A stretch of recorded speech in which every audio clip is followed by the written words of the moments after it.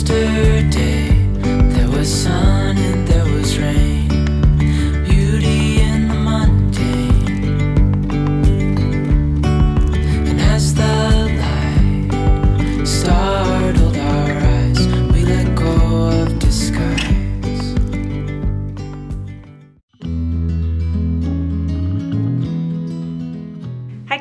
welcome back to my channel. If you're new here, my name is Hannah Olson and I live in Minnesota with my husband and our three children, Sophie, Soren, and Svea. Sophie is six, Soren is almost four, and Svea is seven months old. I love sharing about all things motherhood, homemaking, and homeschooling, which is the topic for today's video.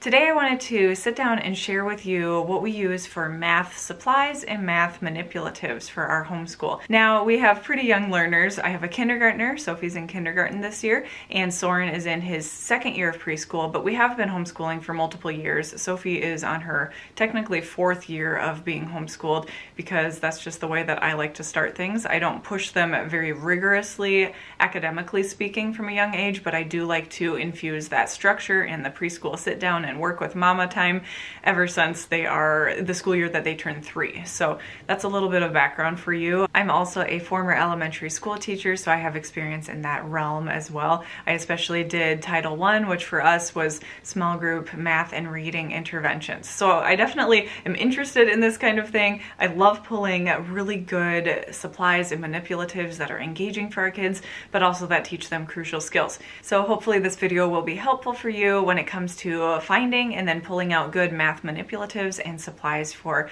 especially younger learners. I'm going to be sharing our math supplies in no particular order and not really grouped by skill. So hopefully it'll still make sense to you and be fun for you to write down maybe a list of whatever you might want to pick up for your own kids. But also I will link everything down in the description box below.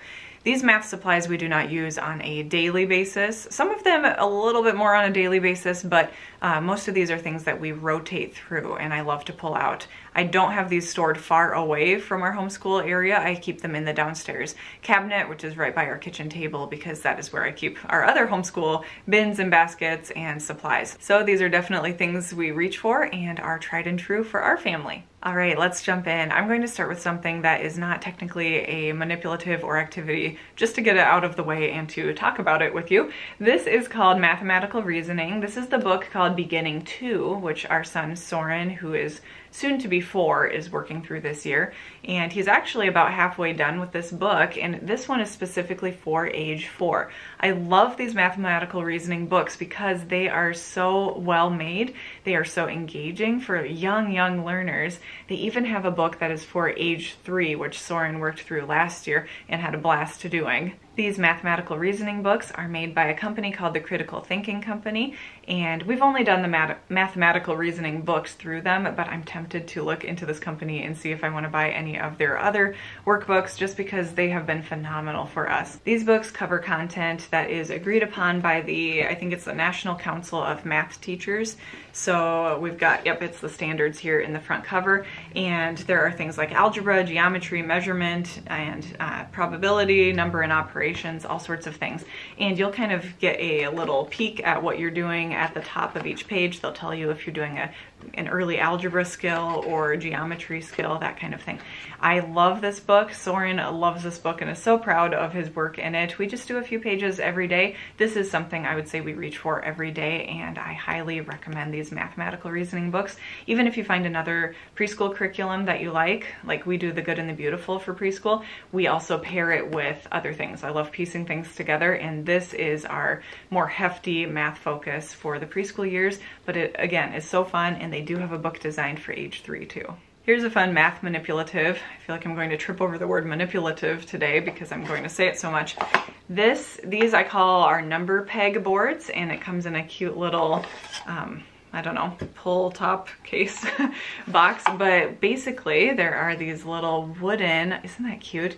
Little wooden cards. If you like Montessori style stuff that is, you know, wooden and really tactile, these are very fun. And they just have the numbers one through 10 on these pegboards with holes and yeah, I guess you can see we've got little dowels or pegs that come in the storage side of this box. It's very easy for a child to work on on their own, but of course if you want to teach them different numbers, you can as the parent go through these sitting with your child. I, at this point, have Soren practice counting during some of his independent work time, and he loves these. It's just, again, a really great way for your child to have that tactile or sensory focus when they're doing math. It really helps with counting skills. So I love this and the awesome news about this, I can't get it closed now, is it's available on Amazon. That's where I got it. It doesn't look like something that you would get on Amazon. It looks like maybe an Etsy shop kind of thing. It says Wolves Woodworks, but I will definitely link that down below so you can get these little number peg boards for your own family or just look into them further. If you have children who love sensory activities, which I would say most kids do,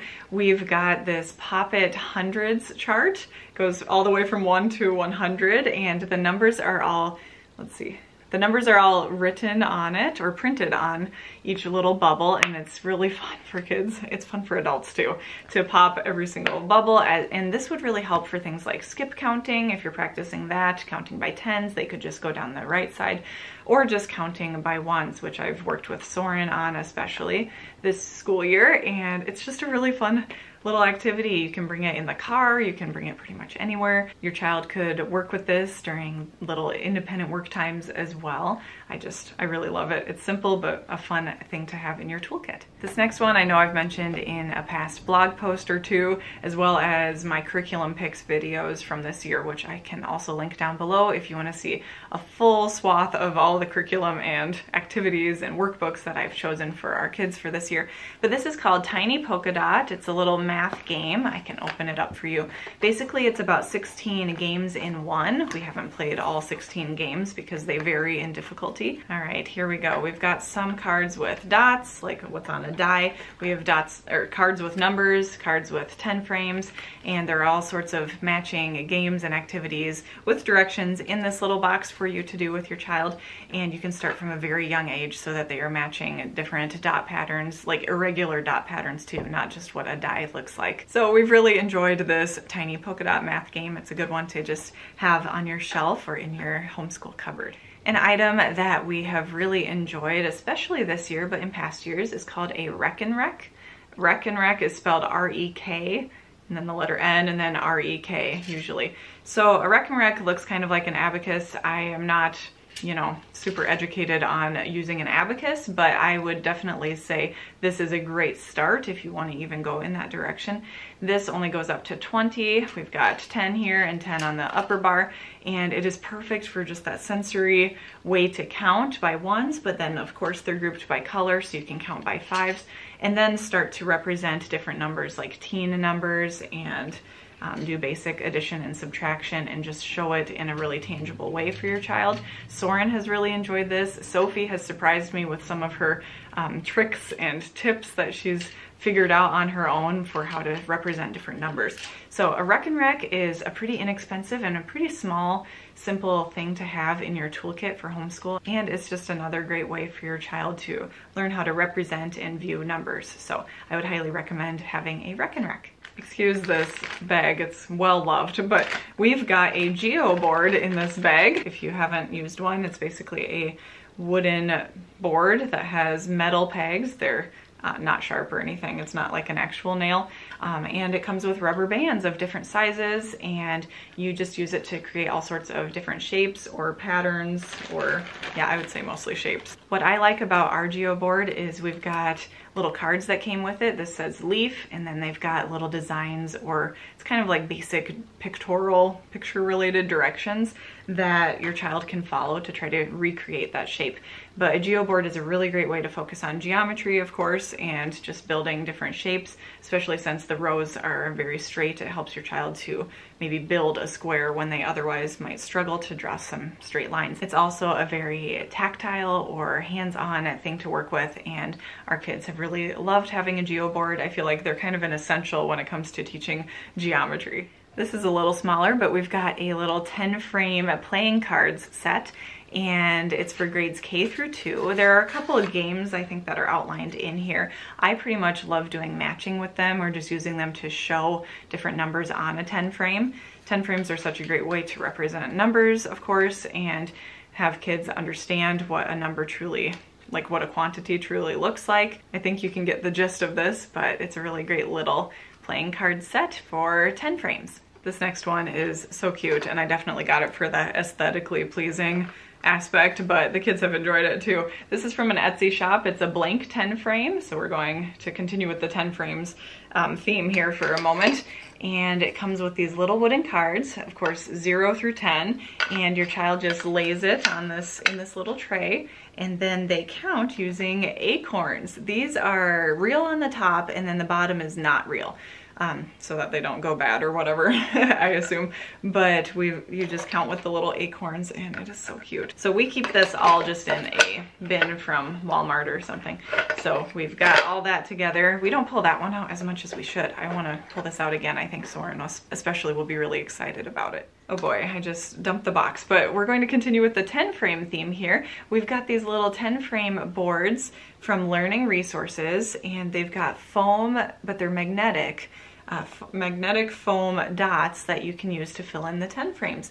We have a set of four of these paddles there's a single 10 frame on the back and then going up to 20, of course, on this side. So you can represent teen numbers, which tend to be tricky for littles. The kids really like these because, well, they're on a paddle, which I guess adds to the novelty of it. But basically, you can hide your answer and then everyone shows their answer at once. So people aren't really looking at each other's answers if you're kind of doing a group math lesson or if you just want to show it to your child like you're the teacher and you've got the answer shown on your little paddle.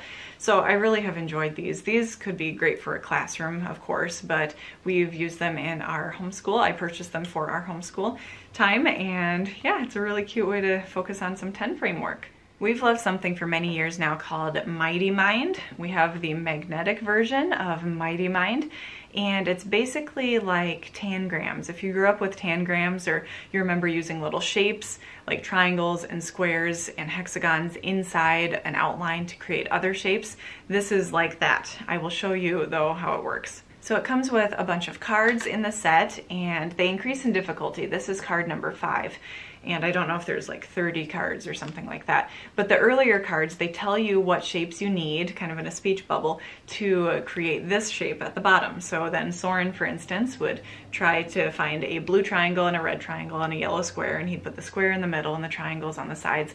It is such a fun and engaging activity for kids. Really, really helps, of course, with spatial thinking and critical thinking skills, problem solving skills, because if it doesn't fit, it doesn't fit and usually that's self-correcting, not always, but I have really enjoyed doing these. Here's 26 26 looks a lot harder and so you would have to find the shapes on your own and they won't give it to you. So Mighty Mind is a really fun one. It would also, I would say, make a really fun Christmas gift. Our next item comes in this well-loved box that says $5 because I got it from a garage sale. This is from Constructive Playthings and I will show you what's inside. It's just a matching game of different dots and then numerals. So your child, oh sorry, it's fish. I forgot to tell you it's fish your child matches together a fish's tail and, oh sorry, it's not dots either. Oh my goodness. I think you get the idea though. It's different fish scales and then the tail, kind of hard to see here, but the tail says the number. We've got fish of all different colors and it does have the number word, but for those younger learners, it also has the numeral, which is really nice, and it does match by color. So this is great for younger learners, whether you want them to just sit over there while you're working with the older kids and they need to match some fish together. It's actually really fun to match these together. It's another sensory friendly activity and they can match just by color if they're especially young. And I think your older kids would definitely learn right away that you are matching by color, but it is still a really good way to represent numbers and match them together with their numerals. This next little set is called Counting Ladybug Counting Stones. It's these cute little, they're kind of heavy, not quite like a paperweight, but they are heavier, maybe made of out of that melamine or something like that. But they have two of each ladybug, uh, numbers zero through 10. And so you can match by counting the dots on each ladybug. Each ladybug has besides their match, has a different number of dots and they are really cute, really fun for kids to hold and play with, you know, pretend play, make-believe play as well. This is from a company called Yellow Door, and I will link it below if I can find it. This one I got for $2, it says, from a garage sale, and I was thrilled to find a garage sale that had some awesome homeschool stuff. So definitely little counters like this can be a really fun part of your homeschool. All right, these last three activities are kind of a bonus. These are related to math. A lot of things in life are related to math and a lot of uh, play and pretending that kids do is truly related to math. So these are tiles. I'm sure you've heard of magnetic tiles, whether Picasso tiles or magnet. Magna-Tiles is what we have, and there are just other magnetic tiles out there. I got our first set of Magna-Tiles through an Amazon Prime sale and then every year, and then I've slowed down now, but every year afterwards I started adding to our collection when I found them on sale or for things like Christmas, we would add just a little bit more. And now I would say we've built up an awesome collection of Magna-Tiles and Soren especially builds with these all of the time. He's constantly making tractors and trucks and combines because my husband farms out of these and of course they're made out of all these different shapes so it really helps your child with spatial thinking skills and geometry and just recognizing that if you put two triangles together it would fit against the side of a square this way.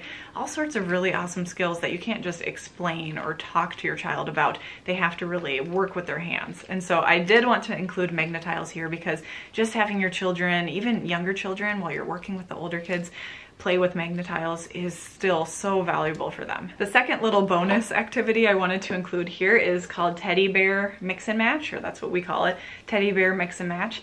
This was part of the preschool level for Sonlight curriculum, and I actually I like to pull from Sonlight curriculum and use it kind of as a book list. I don't purchase the entire curriculum for each level and I infuse it into our homeschool curriculums because we also pull from the good and the beautiful.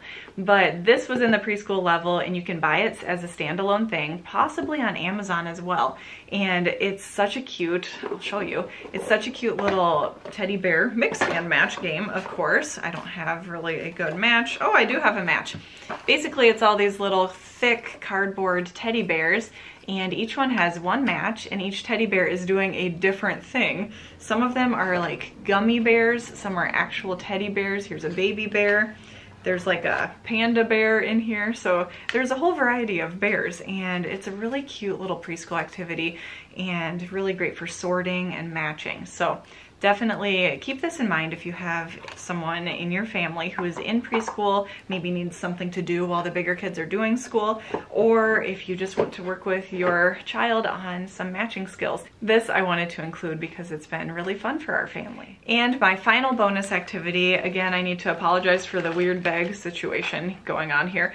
It's tricky to store and maybe you will have a better way of storing it, but this has worked for us. We found on Teachers Pay Teachers, which by the way is a wonderful place to find resources, we found this Logic Activity Pack and this is for ages, I think it said four through seven. So that's perfect for younger learners and I'll show you a couple of these game boards, but first I just wanna explain.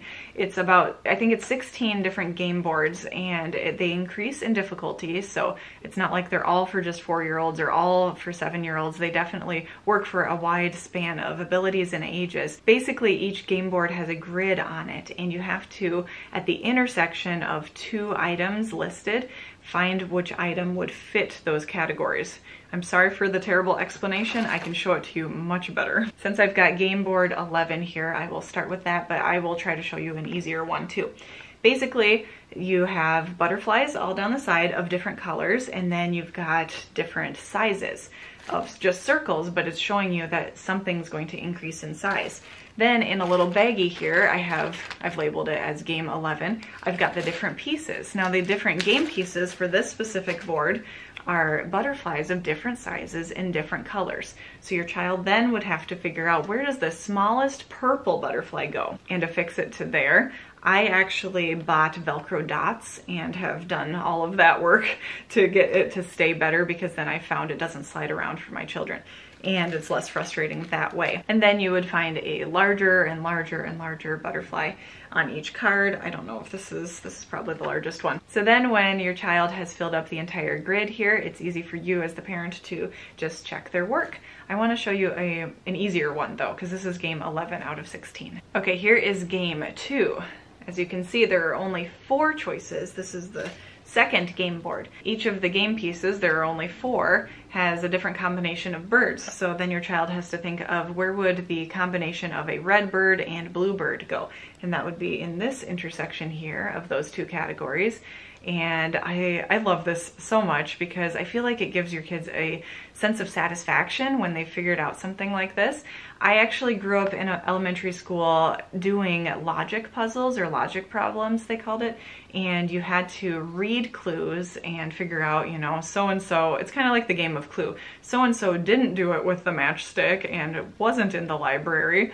And then you have to, it wasn't all about murder though but you have to figure out what the answers are and um, then there's always one right answer but kind of based on process of elimination sometimes too so these logic puzzles have been so much fun for us and I don't think we've gotten all the way up to 16 because we've lost interest before that point. I mean, no child probably wants to sit and do 16 of these in a row, but they have been wonderful for our family. And I wanted to make sure I included them in our math video here today because logic is closely related to math, I would say. Okay, I just wanted to show you one more of these logic puzzles. This is game seven, so about halfway through the difficulty levels. And this one comes with different combinations of fruit. So this first one here is a zucchini and an apple. So your child just looks for where zucchini and apple would intersect. That's kind of the way I describe it to my children, like where do they run into each other. So I highly recommend looking into a logic game pack like this and it's on Teachers Pay Teachers. You can find free stuff on Teachers Pay Teachers. You can filter results that way and find all sorts of games and printables. But this one I think was about $8 and I would say it's worth it. It's definitely worth it, especially if you take the time to laminate it and maybe get those Velcro dots on there. That's it for today's video. Thank you so much for watching. I hope it was helpful for you to see our math supplies and some of our other math manipulatives and activities that we like to pull out for our kindergartner and preschooler, and I expect to use a lot of these supplies as the years go on as well. If you liked this video, be sure to give it a thumbs up and make sure you're subscribed to my channel here on YouTube. That way you won't miss any of the new content that is coming your way. I hope you're having a wonderful day wherever you're at, and I'll see you in my next one.